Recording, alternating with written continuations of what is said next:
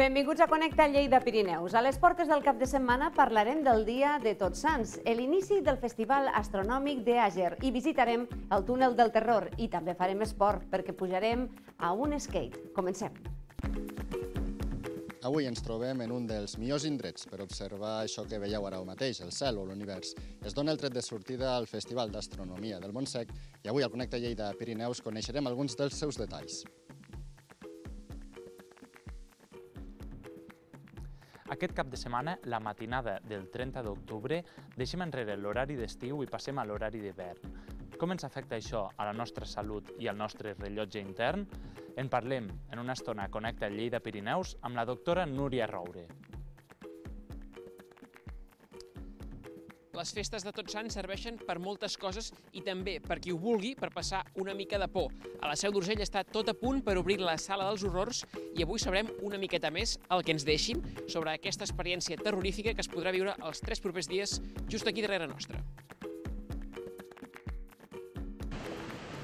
Avui en Connecta a Lleida Pirineus descobrirem a més nou equipament plaçat en Guillem Zaran, el skatepark d'Etsolan, que ja han començat a gaudir els primers viatges. Voleu saber quines són les funcionalitats que hi ha? Són canies menetes del nostre programa.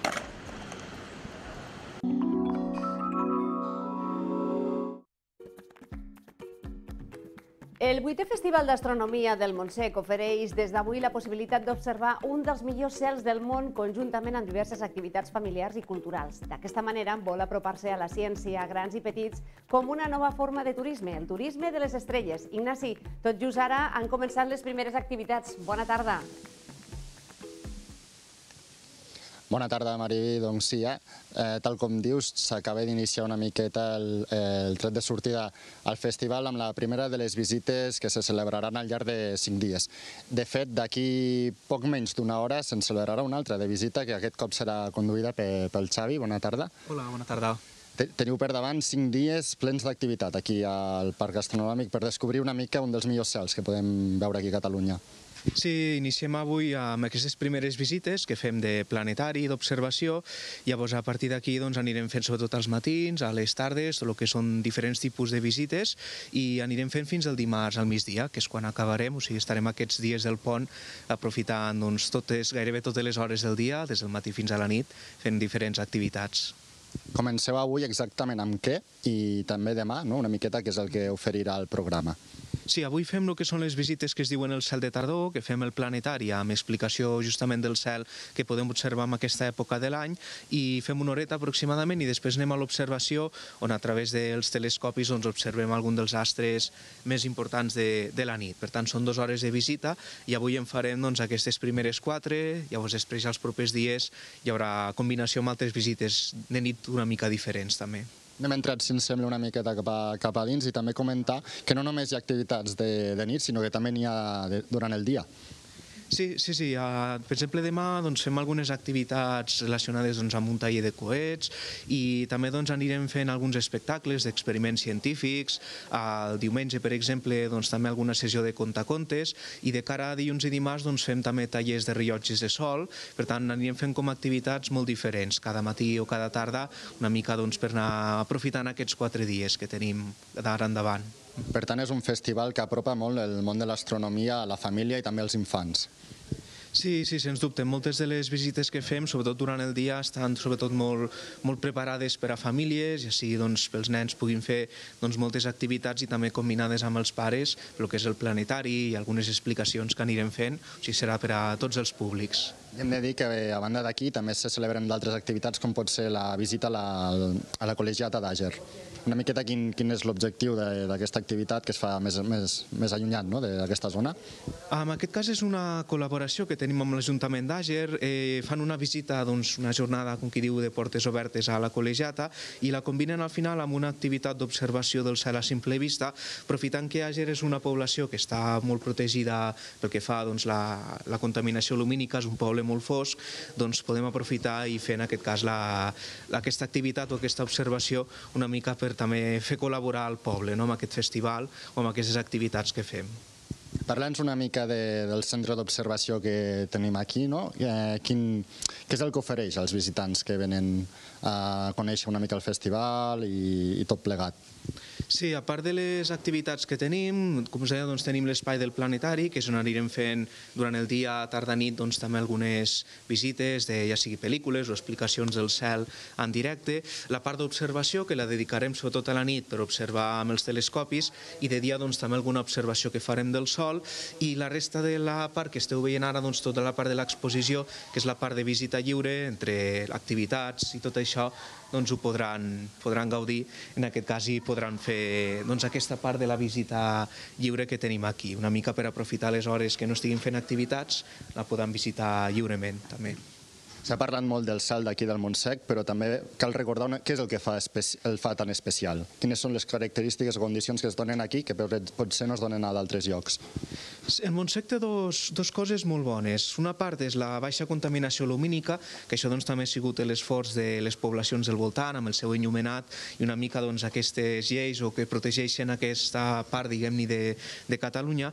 I el segon motiu és la part meteorològica. En principi aquest pont sí que és cert que poden tenir alguns dies amb algun núvol, però en general seran dies de bon temps, que diguem-ne és el que ens trobem normalment. No? Així com al Pirineu hi ha zones que també són molt fosques, però sempre pots tenir algun núvol, alguna tempesta de tarda, aquí doncs normalment tens dies més de, de bon temps. I és una mica els dos punts forts que té la, la bona meteorologia i també doncs, aquesta protecció, aquest cel fosc, que fa doncs, que avui en dia sigui de, dels pocs llocs de Catalunya on realment gaudeixes un cel nocturn, allò amb moltes estrelles i, i què millor que una mica d'actuació musical per acompanyar tot el món de l'astronomia com, com hi haurà no? al llarg d'aquests cinc dies d'activitat.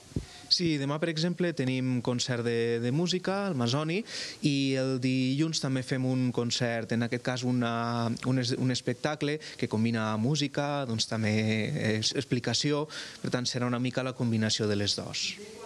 I ja per acabar, Xavi, parla'ns una mica de tu. Què és el que et va portar al món de l'astronomia, no? també a treballar aquí, per consegüent, i què, què és el que més t'agrada no? de tot plegat?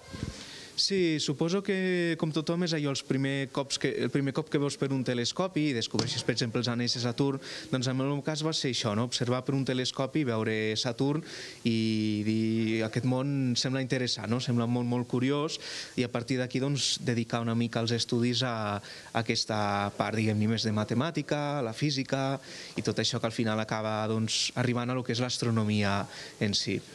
Doncs moltíssimes gràcies, Xavi, per, per acompanyar-nos i ja ho sabeu, si teniu un racó aquest cap de setmana o durant dilluns i dimarts us podeu apropar aquí per veure el que ja us deia, un dels millors cels que es poden observar a Catalunya. Ara mateix, ara mateix, des d'ara i fins al dimarts tindrem la possibilitat de, de gaudir-ne d'aquest cel. Gràcies, que tingueu un molt bon cap de setmana. Ens veiem dilluns, eh, que nosaltres no fem pont.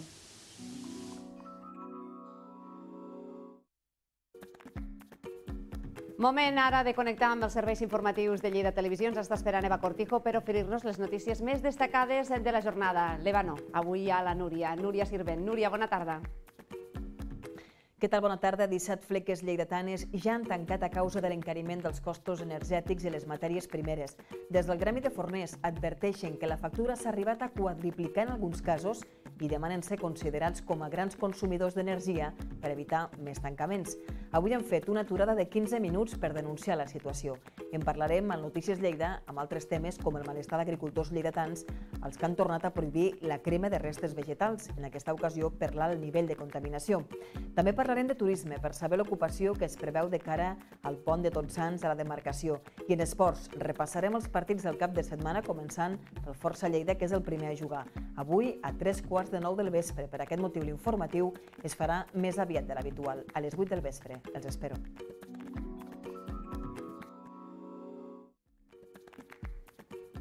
Com ha dit la Núria Sirvent, avui l'informatiu començarà a les 8 de la tarda. La matinada d'aquest diumenge els rellotges es retardaran una hora i el nostre país entrarà en l'horari d'hivern.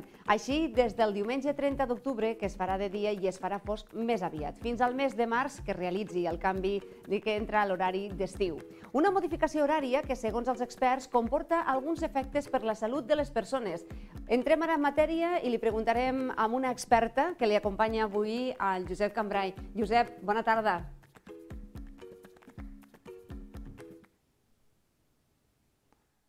Molt bona tarda, Mariví. Doncs, en general, eh, l'afectació d'aquest canvi d'hora amb una persona adulta no és molt significativa. Tardem uns 3-4 dies a adaptar-nos a aquest canvi i és això, no ens suposa un canvi de vida molt abrupte. Però hi ha col·lectius que sí que pateixen una mica més aquest canvi. Bona tarda, estem amb la doctora Núria Roure. Explica'm una mica quins són aquests col·lectius que sí que són més afectats per aquest canvi d'hora. Hola, bona tarda. Fixa't, mm, sempre parlem el mateix, no? aquella població doncs, que és una mica més vulnerable, sobretot en aquest canvi de rellotge intern, perquè el que eh, aconseguim, no? el que pretenem en aquest canvi d'hora és que el rellotge que nosaltres tenim en el nostre cervell ràpidament pugui canviar al rellotge social, que en aquest cas el que fem és retrasar una horeta el nostre rellotge.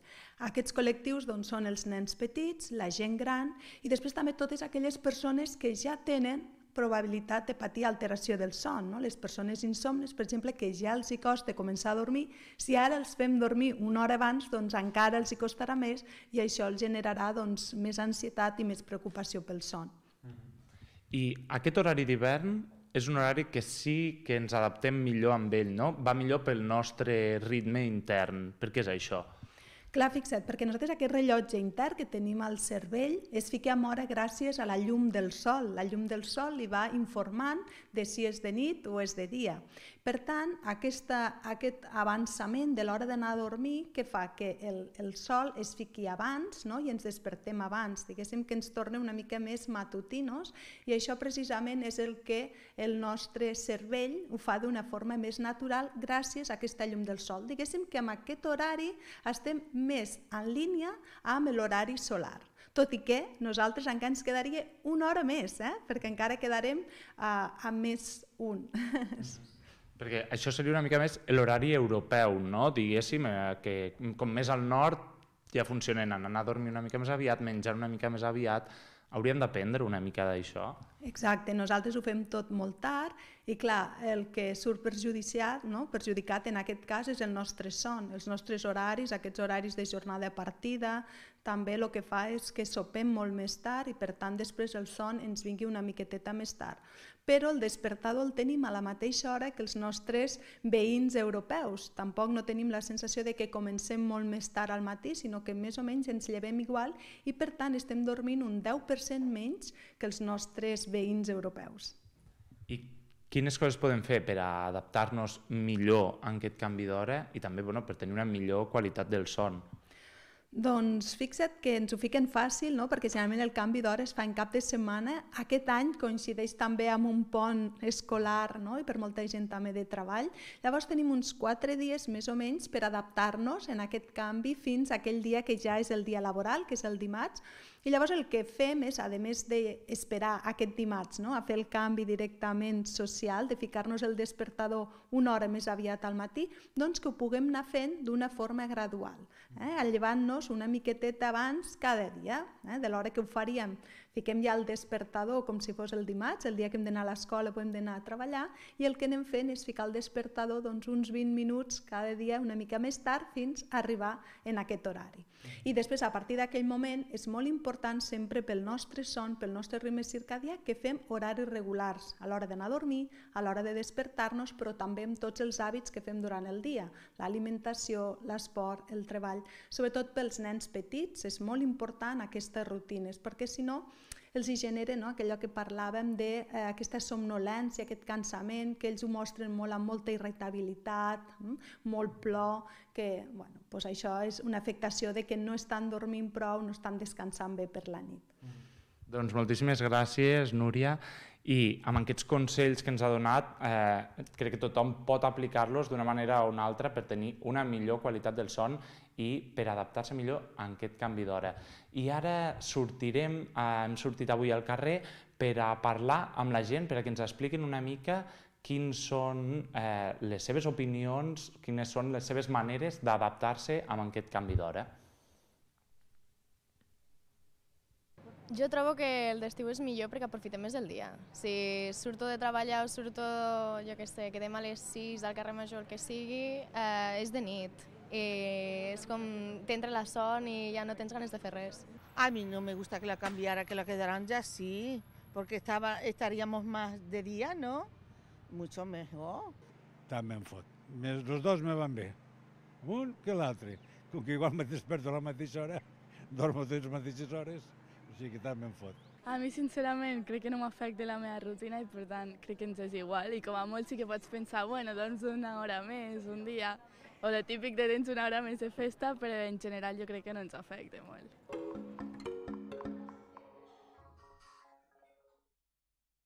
Ens ha quedat clar. El que sí que sabem és que la matinada del dissabte al diumenge es canvia l'hora i que a les 6 de la tarda doncs, ja serà fosc. S'acosta un cap de setmana farcit de propostes de tota mena relacionades amb tot el que simbolitza la festa de Tots Sants i tots aquells que els agradi experimentar l'adrenalina de passar una mica de por, aquests dies tenen una bona ocasió en llocs com, per exemple, la Seu d'Urgell. Allà se prepara amb molt detall una activitat que no deixarà indiferent a ningú. Segur que a mi no me trobaran. És la Sala dels Horrors i tenim a l'Eva i en Jofre just a l'entrada. Bona tarda, Jofre. Jo no sé si a tu els ensurts t'agraden o no. Jo ho porto fatal. A veure, no em desagraden tampoc, però no sóc un apassionat, Mariví. Ara ens trobem just aquí, a l'entrada d'aquesta sala, que s'està a punt d'obrir. De fet, s'obrirà demà i el que faran ara, d'aquí uns instants, serà un assaig general de tot el que s'ha estat preparant els últims dies aquí dintre, que és molta cosa. Eh, tenim amb nosaltres el Marc Moragas. Hola, Marc. Hola, bones. Què tal? Eh, heu impulsat això des dels Diables de l'Alt Urgell. Eh, bastants dies de preparació, no? Pues sí, justament vam començar a muntar el dia 22, així que pràcticament una setmana de muntatges pràcticament 24 hores aquí. O sigui I abans d'això, anar-ho pensant, eh, ambientant, sí, tot plegat. Evidentment, evidentment. Un, un mes, un mes i mig que vam estar pensant tot el concepte i ara ja s'està materialitzant i encantats, sí, sí. I a punt d'arribar ja al moment de portar-se a terme. Sí. Ens deixaràs entrar una miqueta fins sí. a on tu ens diguis, perquè això és una mica un secret, no, tot plegat? Sí, sou una mica privilegiats perquè passeu la porta, que no deixem passar ningú, així que anem a dins, us ensenyem una mica el que estem muntant. Molt bé. I escolta, eh, algun detall que, que es pugui dir, que es pugui saber del que hi ha aquí dintre, que l'espai és bastant ampli, eh, la gent anirà passant, cadascú... Eh, sí. Com anirà això? Bueno, farem les cues de cada any, llavors aquí tothom podrà comprar la seva entrada, aquí a la, només a l'arribada, i bàsicament anirem passant el més ràpid possible i amb grups. Que això ja és una tradició que porteu fent uns quants anys i aquest any heu pogut tornar-ho a fer, eh? Sí, aquest any és la cinquena edició que, que, que fem. Ja la primera va ser el 2013 i ara, imagineu, 2022 i cinquena edició, així que encantats. Sí, sí. I quanta gent ha estat preparant tot això? Mm, bàsicament el grup som uns 30-35, sobretot en aquesta que estem avui, eh, en aquesta actuació que estem avui. El grup som bastanta més gent, però, però bueno, eh, 35 persones fent aquesta activitat. Així que... Doncs, eh, entre ells diferents actors sí. i avui tenim aquí, eh, que just ara ha vingut a rebre'ns... Vinc de fer una visita.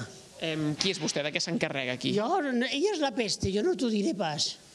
Eh, sí. i, i, I una mica d'on sortiu i què, què fareu aquests dies? Eh, pues mira, normalment entrem per aquí per la porta de Sant Domènec, aquesta d'aquí, i... Eh... Nosaltres hi podem entrar o...? És, eh, vas amb cobertura? Sí, necessitem cobertura sempre. No, al moment que passes la porta... Eh, Perdríem la connexió directament. Totalment, vull dir, o pot ser la vida, una de les dues coses, no ho sé. No ho per ara no ho intentarem. No, jo no ho provaria pas, no, no, no. Eh, i vostè conduirà la gent cap aquí, com ha de ser un bon, com ha de ser un bon guia? Sí, bon, bueno, guia bo... Eh, bueno, jo t'explico. Nosaltres el que intentem és que no perdem a ningú eh, pel camí, cosa que... Garantiu que tothom sortirà sencer? Sí, Mm, ens quedarem amb la intriga, amb aquest dubte? Eh, com vostè vegi, no sé, jo, la idea nostra és acompanyar-los durant tot el camí, que, que, que no hi hagin problemes, vull dir, sobretot que no, que no s'espantin. L'experiència... Ah, no, no era, perdó, perdó, no. Estem sí. aquí, no acabem de, de tenir clar exactament, Mariví, que tenim una mica de dubtes, la informació no és prou clara, però quanta estona s'estaran aquí dintre? Això ho podem saber? Eh, aproximadament potser estan uns 5-10 minuts, n'hi ha alguns que s'estan una eternitat, eh, baixins. Doncs amb aquesta informació tan clara i concisa que ens acaba de donar, ens quedarem eh, amb, amb això, Mariví. Nosaltres ens posarem també a, a la cua, que, que serà llarga perquè ja està preparada, i veurem si ens retrobem dilluns o no. El que sí que està clar és que aquest túnel de la Sala dels Horrors eh, li doneu molta vida a la Sala Sant Domènec de la Seu d'Urgell. Realment, eh, aquí el canvieu, ja pot ser la seu per eh, el Festival dels Jocs, com de repent la Sala dels Horrors. O sigui que Pot ser qualsevol cosa. Gràcies, que tingueu bon cap de setmana. I tant. I per acabar el Connecta anem fins a la Vall d'Aran per saber quin és el fet més destacable de la setmana al territori. L'Àlvar ens apropa una dada curiosa. Fa dos anys no hi havia cap skatepark a l'Aran, però vista la gran demanda dels joves de la zona, s'han construït dos durant aquest període a dos indrets diferents, al Nautaran i al municipi de Viella e Mitjaran. Avui coneixerem el més recent, el de Viella, per saber els motius d'aquest creixement exponencial que el dels esports alternatius. I aquí saludem doncs, el nostre company Álvaro Ordóñez. Bona tarda. Hola, què tal? Com a vedeig a Traciu, a darrere des mies imatges, s'ha vestit en nou equipament i en nova instal·lació de nou nivell esportiu, així en Parsant de Viella i Mitjaran, en aquest cas se tracta d'un skatepark que, com a podeu veure, en aquests moments ja s'està estreant per part de Xiusatgers i ara volem conèixer les primeres reaccions en aquest sens de la creació d'aquest nou equipament en aquest municipi de Villa Mitjaran. Tot això parlarem amb el tinent d'alcalde d'aquest municipi, Alberto López. Alberto, què tal? Bona tarda. Bona tarda. Bueno, veiem, eh? ara ens atrapàvem encara en hora que dieu ara comencen a els mainatges de l'escola i ara segurament ens vieran tot i més. Quina primera valoració em podeu fer vosaltres des del consistori d'aquest skatepark? Bueno, eh, cal dir que aquest equipament era molt demandat eh, per a pel de, del municipi de Villa Mijaran i de des de que le, se podec gaudir eh, totes les tardes eh, i, i plen de, de jovenesa que ja l'estan gaudint. Per tant, hi ha inversió que ha realitzat eh, l'Ajuntament que pensam que, que s'aprofita i s'aprofitarà. Aquest tipus d'esports, eh, jo de cada viatge més, sembla que són més emergents, no? Me parlava qüestió ara de que hi ha força demandat. Tu hi veus un, un creixement exponencial d'esports alternatius a en territori?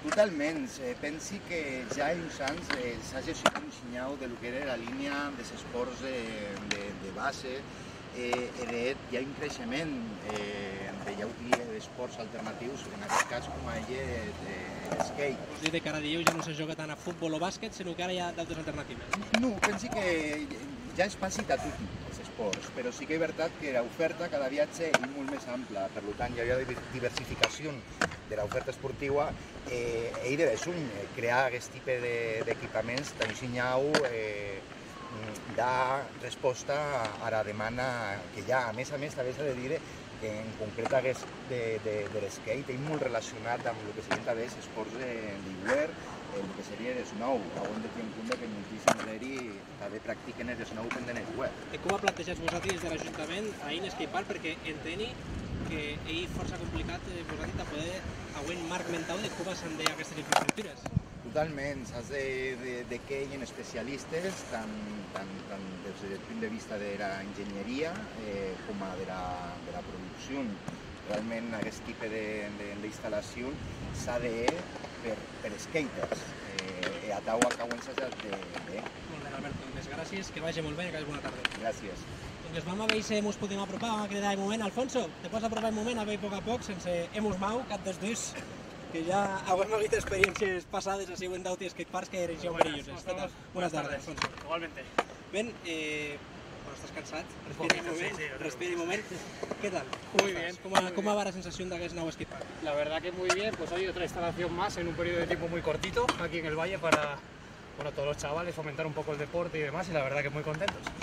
T'ha posat i t'ha sectut. En aquest cas, eh, Dojo Skate Club, que hi ha una empresa que ha sorgit precisament d'això, no? de, sí. de les alternatives que ofereixen d'altres municipis com a Viella o Nauaran. Uh -huh. Com valorats vosaltres poder iniciar a vostra activitat empresarial gràcies a això? Pues la verdad que muy bien, esto nos abre otro campo de acción, ¿no? otro, campo, otro campo para poder trabajar en otras zonas del valle, la verdad que súper contentos y nada, va por ello y intentar que los chavales pues conozcan este deporte que está muy relacionado con todas las actividades que hacen en invierno y la verdad que súper contentos. Eh, vosaltres, eh, a nivell particular, eh, com ho definiries a, a aquest skatepark? I dieu quina era la diferència que tipus trapada amb que hi vestit també en Navarran? Per què hagués ell diferent? Bueno, este es un poquito más completo, ¿no? más polivalente, digamos que dentro del mismo circuito tienes varias opciones, tienes tanto zona de bowl, rampas, como una pequeña zona de street.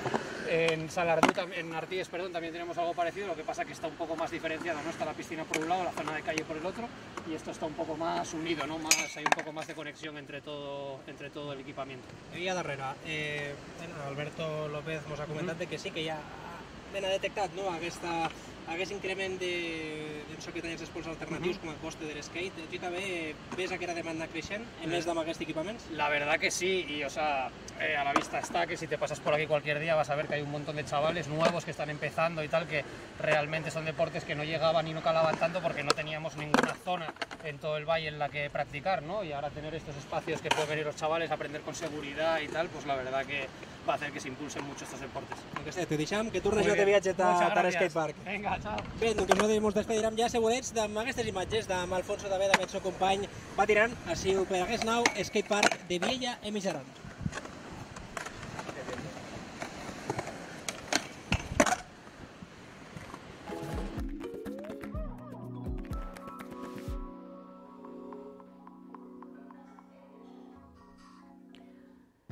Quines piruetes. Nosaltres posem el punt final al programa, però tornarem dilluns perquè sí, el Connecta Lleida Pirineus no farà pont. Adéu-siau, molt bon cap de setmana.